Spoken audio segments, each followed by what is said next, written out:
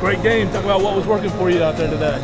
Uh, I was just taking my time out there, taking one pitch at a time. Um, everything was pretty much working, mainly fastball slider. Uh, had both sides of the play going, and it just felt really good. Great. How important was this game as you go go into the city this week? Or um, tomorrow? Yeah, I think it's big for us as a team. You know, Virginia's a very good team, a really talented squad. Uh, go out there and get a shutout was pretty important for us. Um, going forward, that's something to carry into the weekend, and then going forward into the regional, it's going to be really good for us. All right, so who would you rather see, North Carolina, Virginia Tech, and what's it going to take to get past them? Um, you know, both teams are really good. We haven't seen North Carolina this year yet. Uh, our Virginia Tech series got canceled after one game, so you know either team will be fine to match up with. They're both really good teams. We're both going to prepare a lot for it. And, uh, we feel really good going into the weekend, so it should be exciting.